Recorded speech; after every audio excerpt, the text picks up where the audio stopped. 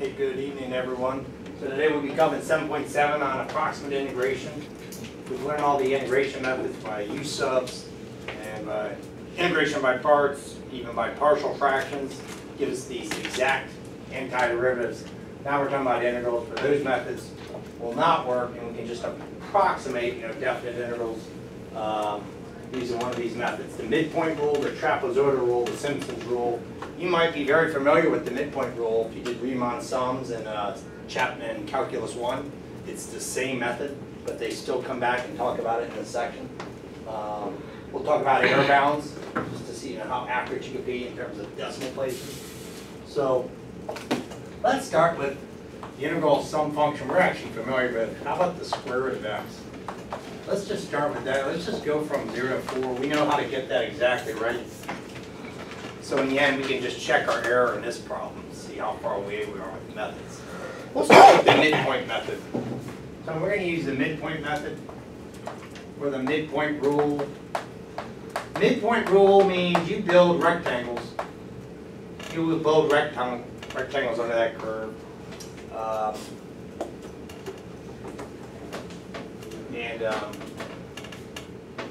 it's a Riemann sum. But you have to be told how many rectangles to make. How about let's use n equals 2. So that n value, when I talk about this n value here, and you even see it in the formulas, Think about like how many subdivisions you'll have, how many rectangles you'll actually build. We're talking about trapezoids, we're talking about how many trapezoids we'll have, right? Um, so in this case, let's look at this. We're going to use the midpoint rule. Let's draw a picture of this curve.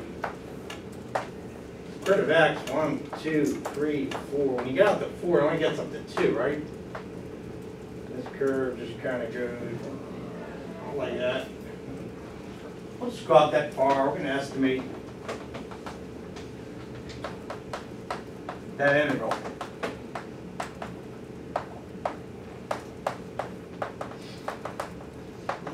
Let's estimate this definite integral. We'll start with the midpoint rule, n equals 2. So, um, midpoint rule means we have rectangles. So how many rectangles do I build inside the interval from 0 to 4? Two of them? So, it looks like we'll have one right here where there's the base. I'll make the height, there'll be another one right here, where that's the base and that's the height, right? So to build the, the rectangles, use the midpoint of the first subdivision. So this is a one, that's a two, that's a three, that's a four. Does everyone agree if I'm doing the midpoint rule? What's the midpoint value right there? Of the first subdivision, of this first rectangle, one. What you do is, you draw a vertical line, and you stop when you hit the curve. This is your height. And you're gonna cut left and you'll cut right over that whole subdivision. And you'll see your rectangle. So we're doing this one by hand. To give you a sense of what's going on with this problem. So there's the first rectangle. I think it's some one value, right? You agree, you plug a one into the square root of x, you get one? So I just want to make this better to scale there.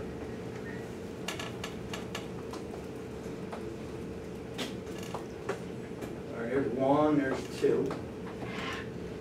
Get that up there. All right. I'm gonna build that first rectangle. Up there, stop, cut over, cut left, cut right. So obviously you got an overlap, but you also have an underestimated portion there. Does everyone see that in that first subdivision? Cool. That happens a lot with the midpoint rule. But it kind of evens out. It's not a bad rule. It's not a, a bad approximation method. You had an overlap, underlap. And it basically kind of, you know, it's an approximation. And then the second one, I'm gonna do the same thing. Start up here, stop, I hit the curve, I cut left, I cut right, true? Make my roof. So I wanted you to actually visualize these rectangles. This is the midpoint. This is what it looks like, and we're just doing a simple, hey, two rectangles of y equals square root of x from 0 to 4. And uh, all we do is get the area of that rectangle, the area of that rectangle, and we add the areas together, right? That's the midpoint rule. I mean, look, look at the formula here. You might ignore this. But that's what's going on here. The change in x comes out of this formula. They say go b minus a over n. Well, what was n equal to in this problem? 2. That's the b, that's the a. So we can do that. What's, what's b minus a over n? What's 4 over 2? 2. But obviously you're like, oh, I know what it means when it says n equals 2. I build how many rectangles? 2. So you might not even need this, to be honest, when you read this stuff. This x bar there, they're just talking about, you know, take the average point right there between these two. The mean, which would be the middle point. Hey, let's just see what we get. Um, oh, yeah, I can just do length times width plus length times width, right? For this method. That width is two. In fact, the width of the second rectangle is two. What's the length? One, One. You know, I'm gonna write it as a square root of one. Do you all agree to get this actual height here, I have to plug a one into that formula? Even though you all know the square root of one is one, I'm gonna write square root of one there. And then what will this be? Root 3. Root 3. He takes the 3, he plugs it into the equation, and gets root 3. And you can apply this to any of multiple problems in this section. I mean, it might be sine of x squared. You think, okay, I'll take the sine of 3 and then I'll square. That would be my height. Height would be the value of that function. Hey, uh, so what do we get out of this? If we use a calculator, what's 2 plus 2 root 3? We trees about 1.7. So I'm thinking, everyone, here's me in my head. 1.7, you multiply 2, that's about 3.4-ish. Hit on your calculator, Is it about 5.4? 5.4, or 5.46. Oh, cool, 5.46. Cool. But we know how to get this exactly, don't we? Cool. So now, if you were curious on this problem by the midpoint rule, you know, you could find out exactly what this is and see if this is more than or less than that. We'll do that in a second. But I want to use the trapezoidal rule. Was everyone okay with this? Cool, we'll remember this, everyone. We got five point four six by using the midpoint rule as an estimate to the area under that curve, right? As an estimate to the definite integral. Let's do the trapezoidal rule now. The trapezoids, we're gonna build trapezoids. Although they're gonna look like on the side. A trapezoid, if you don't know, is a, a four-sided figure. Right, it's a four-sided figure where two sides are parallel to each other, the opposite sides. They call them the bases. Although the base is going to be up on our sides here, right? So that's what a trapezoid is. It's got four sides to the figure. Two sides are parallel to each other. We call them the bases. For two sides don't have to be parallel. These do not have to be isosceles trapezoids or anything, just trapezoids. So let's use the trapezoidal rule. I'll erase this entire picture, draw it again. We recall we got 5.46 with the midpoint rule, right? Yeah, I'll write that down. We got 5.46, n equals 2 with the midpoint rule. I'll just leave that. Well, let's use the trapezoidal rule. I'll put trap. And let's use n equal to 4. We can definitely put four trapezoids in that region, right? And yes, the problems, they present that to you. Draw this again. One, two, three, four.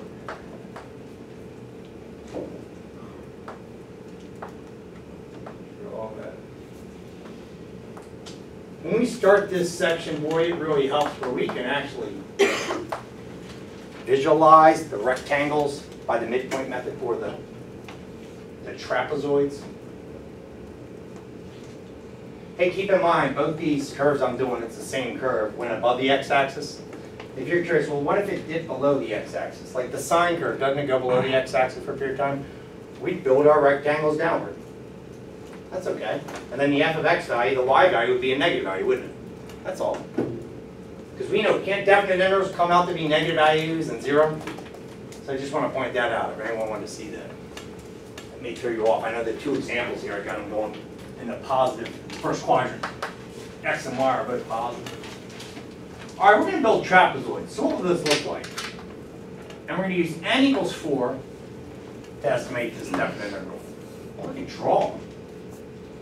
There's a base, there's a base, uh, but there's that other side. I want to see a little gap in there, A little open space, underestimate or overestimate? Brilliant, that's why I want you to draw the picture sometimes. So you can just go, hey, is this an underestimate or overestimate? You can see it. Slightly underestimated. It's gonna happen throughout this whole portion? Look at this, it's gonna be slightly underestimated. There's a curve bending right over that straight line. But boy, this should do a decent job. We're only building four of them. Theoretically, we should build an infinite amount, huh? Hey, this turns into a triangle, doesn't it? That's all right. Well, that freaked out. Okay. So. This is a one, this is a two, this is a three, this is a four.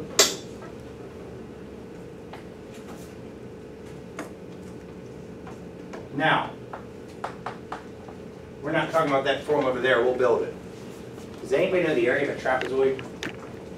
The area of a triangle is what, half base height? Area of a circle, pi r squared. What's the area of a trapezoid? Go back to geometry class. One half times the base times the parentheses, the first height plus the second. So one half times the height times the sum of the bases. This gives the area of a trapezoid. Any trapezoid, one half the height times the sum of the bases. Very good. One half the height times the sum of the bases. So we gotta do four of these, don't we? Well, let's do it. Let's do it all out. One of these for this one, one of these for this one, one of these for this one, one of these for this one. Add up the four areas, we're gonna have the estimation by the trapezoid rule. And when we're done, we can go back and reflect on that formula over there. And you might find that formula helpful. See all those twos in there? Like, we got, we must be curious, where, where are all these funny twos coming from? And we're gonna see. We're gonna see where these come from. So, now let's do one half height times the sum of the bases for each one of these. Well, I'll start with the first one. The height is on the side, right? If you gotta look at it like that. So what's that height? One. We gotta think, what's the length of that base? Goofy question, it's zero. And what's the length of that base? One, so I'm gonna write, for trapezoid one, here it is, I'll just call you trapezoid one, I get, I get one half the height times the sum of the bases. Two plus the length of one. Okay, I'll put a plus. I'll make this bigger, I wanna make sure it's One half the height times the sum of the bases. Zero plus the square root of one. I can put square root of zero too if it helps. Right, those are the lengths. One half the height times sum of the bases, think the height's on the side. All right, how about trapezoid two? That was the first one. All right, do the second one. One half the, what's the height? Oh, it's still one, cool. It's gonna happen on each one. What's the sum of the bases of? Root one plus Root two. root two? Halfway there. One half the height of the next trapezoid times the sum of the bases. Root two plus root three. Don't have to be trapezoid three, there's those two lengths right there, that's the, the bases I'm talking about on the side, the parallel sides. And the last trapezoid, one half the height times the sum of the bases. Root three plus root four. Add all this up. And we'll get it. But there are things you can factor out, like the what? The one half. We can factor out the height. But, um, do you notice something when we're doing all this math? We're gonna get the answer. How many times did this happen? Twice. And how many times, how many times did this happen? Twice. And finally, how many times did this square root of three happen? Twice. But at the end points, there was a lonely just square root zero. And at the right end point, there was just a lonely square root of four. So now you get an idea of this formula and how it's derived. This one didn't have a two, right? f of x sub zero. And then the f of x sub n in the formula, has a coefficient of one. But all the others have a coefficient of one, two. That's what that math form was saying. You're gonna have two of these and two of these we could have built 100 of these trapezoids. That's what would have happened. Two, two, and two, and two, and two, and two, and two. But you would have had this lonely, just one at the beginning and one at the end. So most students just go, oh, and they find it easy to remember the trapezoidal rule. But if you ever blanked out on that thing, can't you just build a few trapezoids? You know, they sometimes they ask you to make eight of them or six of them. Hey, uh, anybody get this? 5.146. 5 one four six, anybody else get this? Yep. Yeah? I'm gonna write this down, five point one four six, we use which method? Trapezoidal rule. Cool.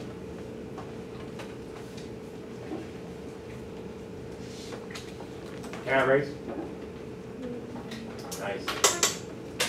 Yeah, the next time we do trapezoidal rule, well, the other way. We'll just run through this. Right, be able to look this and just go two, two, two, two, two. I just wanna do it right here. Okay. Hey, I was wondering if we could do something. Can we find the exact area, just see how close these were? Uh, the exact answer? Me even see what the errors are. How close were these? I mean, we only used four. What'd be exact, what's that antiderivative? X to the three halves over three halves means what? Two thirds, x to the three halves. All right, plug in at four. And subtract zero. Remember, four to the three halves means square root of four, cubed. You probably did that in your head. Eight. You probably do this in your head. Sixteen thirds, you could probably do that in your head. How many times is does three go to sixteen? Five point what? Five and a third. So this is exact, I'm gonna put an equal sign, no, no squiggle, right?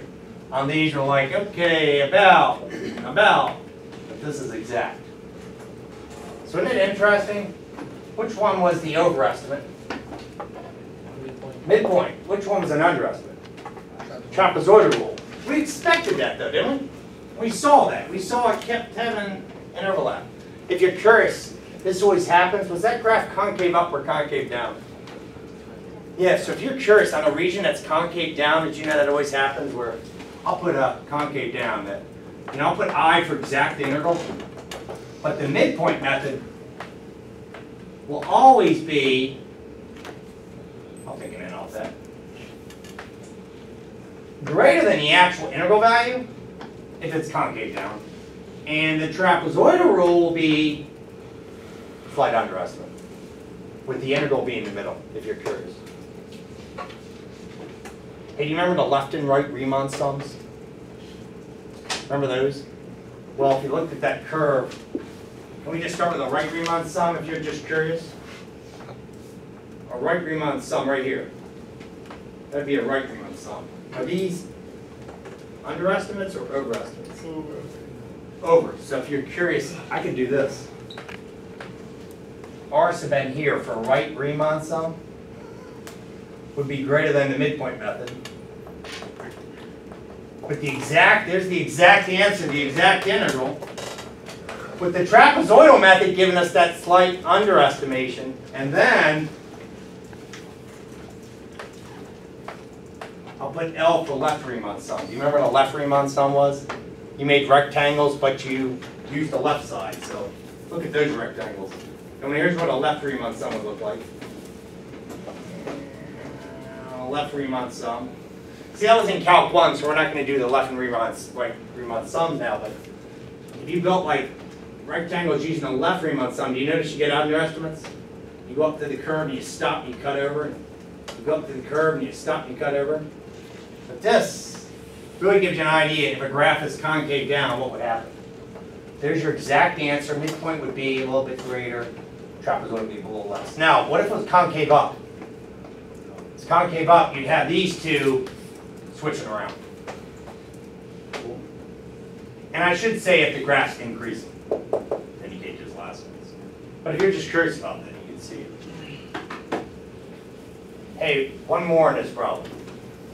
Then we'll venture into some other ones. Let's apply Another approximation method. Let's use Simpson's rule. Now Simpson's rule, everyone, we're just gonna use the formula. Uh, if you wanna know the, the derivation of that, like the proof of that is in a textbook, but I would put this in your notes. Trapezoidal rule uses trapezoids, right? Midpoint rule uses rectangles, Simpson's rule uses parabolas.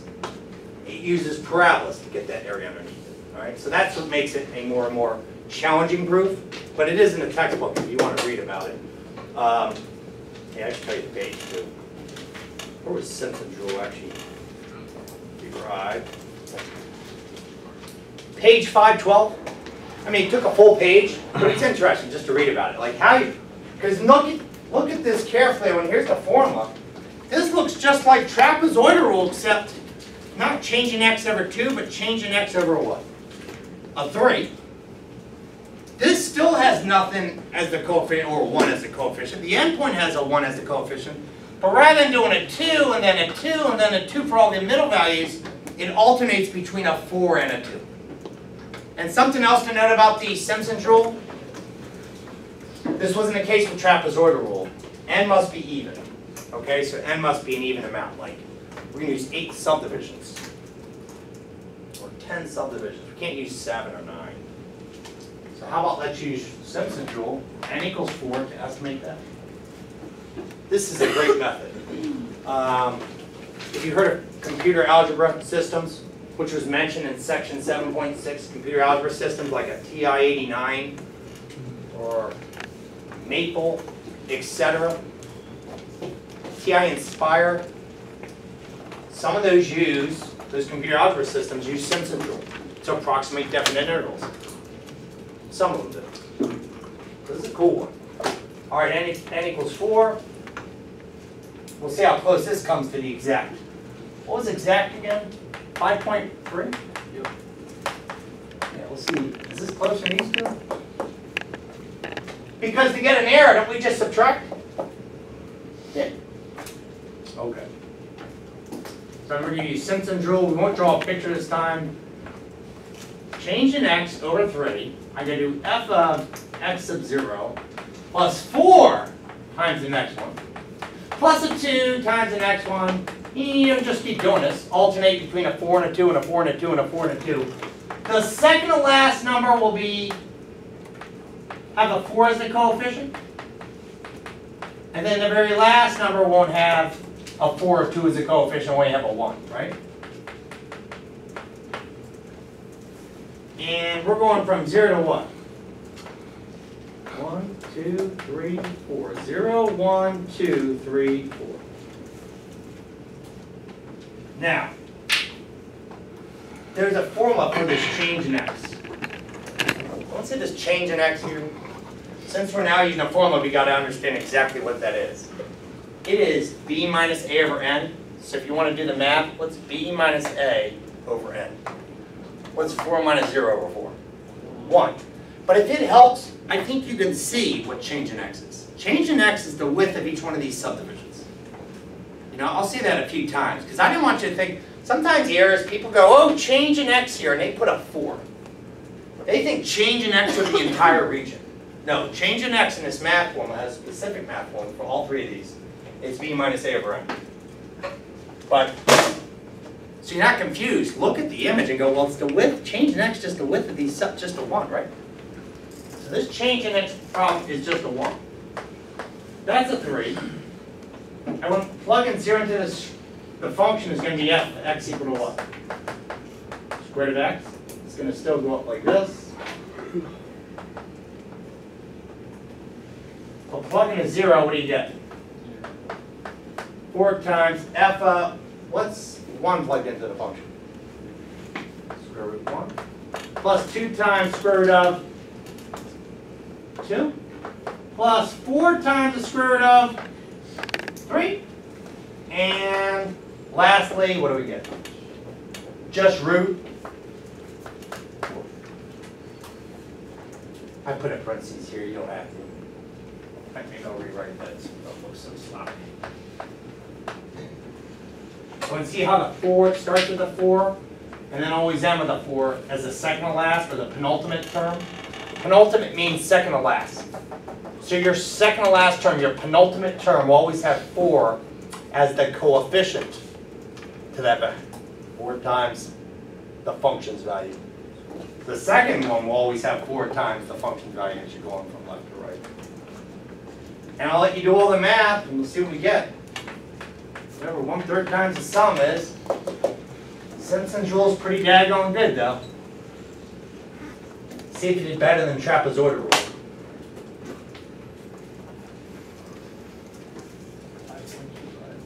Five point two five.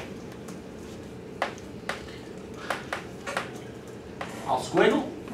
We got the integral to be approximately five point two five by Simpson's rule. Cool. Hey, is this closer than this value? No, we can always say I'm take the exact integral. Right? We subtract the what, approximate, we can get that area.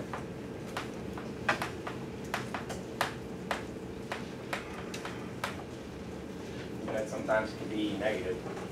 All right, five point three three minus, what was this?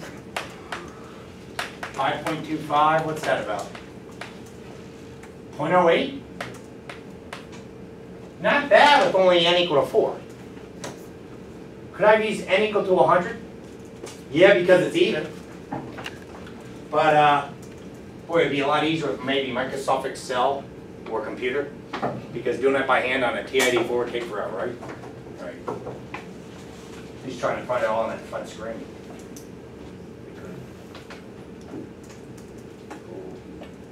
Awesome, Kate.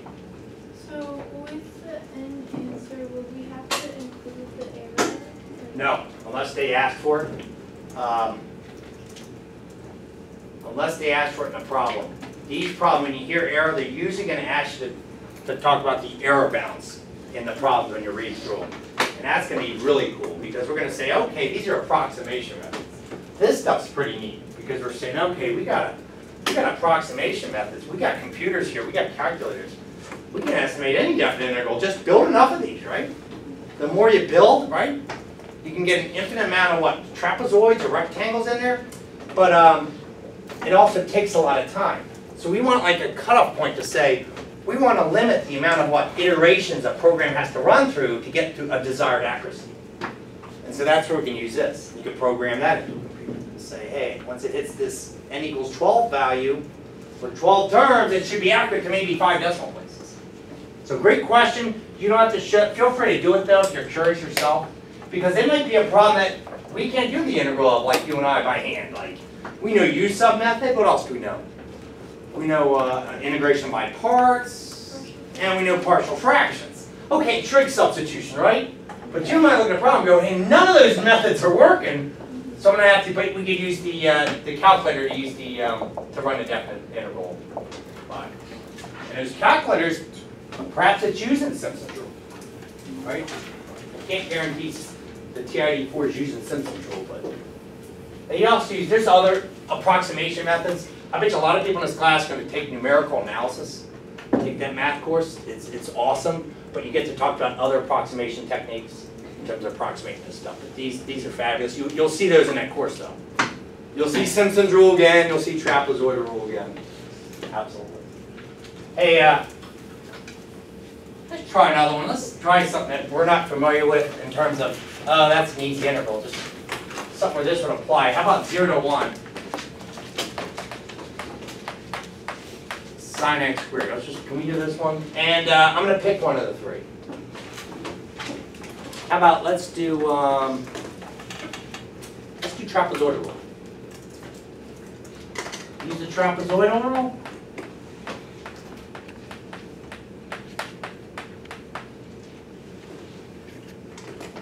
Okay, this is like number from seven point seven.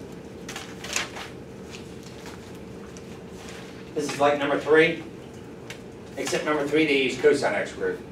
How about let's use trapezoidal rule n equals one. By the way, if you wanna write that, you could write that as like t sub four.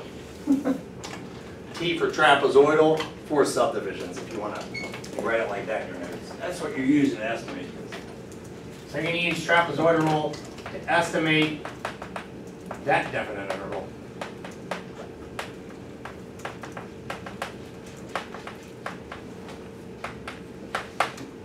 I wanted to do this a few times with you, different methods, different integrals, maybe read it from a table, and then we'll work about, we'll talk about the error bounds. Uh, I chose this problem for a reason, this is like number three. Does a U sub work here? Integration by parts, partial fractions, trig substitution. None of those methods are gonna work. But we're gonna approximate this definite integral by trapezoidal rule. Hey, if you wanna examine this with the calculator, just the graph, it's not a bad idea just to see if it's concave up or concave down, we can kind of predict whether or not we're gonna have like the error less than or greater than. On a test, you're gonna like tell us which method to use? Yes, great question. Um, Dave, you'll be asked which method to use. Now, sometimes I'm, gonna- usually the problems like this, they have to tell you how many subdivisions. Okay. Because Connor might be like, what does he want me to use, a hundred? Seriously, he'd be like, he can put a hundred of these, take forever. Or twelve or something like this, or sixteen. So those will be very specific, n equals four, they gotta tell you subdivisions. When they give you a table, and I'll make sure we're gonna do that very soon, everyone, they give you a table out of the book. A table values, or recordings. In actual life, people sometimes just get data and they wanna approximate what's going on. Perhaps they're getting a bunch of velocities, they wanna estimate the distance that a rocket traveled. But on those problems, we're always gonna use the most subdivisions we can. So let me say it again. If you're given a table, they don't give you this n equals four sums. You go, what am I gonna use? You're gonna make, you're gonna use the data you got and use as many subdivisions as you can. Which means you'll just keep making that change in x go by, whatever you have in those, in the table, if it's going by threes or going by sixes for the x values. Hey, uh, this graph, it's sine of x, y equals sine of x squared. Kind of is concave up. Kind of looks like this. It's not that steep. Um, if you want to look at it, feel free to put that in your calculator. Yeah, and you can use what, zero to one? See the window? So if we hit, hit zero to one, it'd just be like, It, it zoom zero if it's the entire function. nice. But I, looks like it's concave up over the region. Just so we can apply that, remember that one that was concave down? So hey, um, trapezoid, just so we can estimate it. I mean, a trapezoid like this, just look at that. Overestimate or underestimate? Overestimating, it? If the graph is concave up over the entire region, as well, it looks like we're gonna get an overestimate with the trapezoidal method. Just something we can, you know, observe, and then we can perhaps hit this on our calculators, use the